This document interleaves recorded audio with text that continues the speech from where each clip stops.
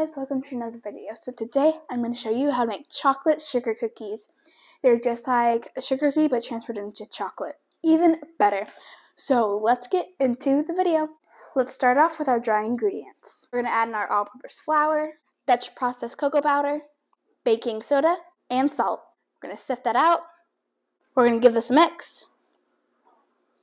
Alright, let's set this off to the side. We're going to move over to our stand mixer and add in my white sugar and our butter. now let's cream it up. Scrape down the sides.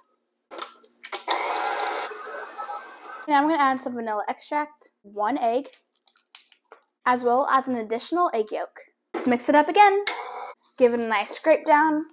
Now we're going to add in our dry mixture. Mix it up till we have a dough.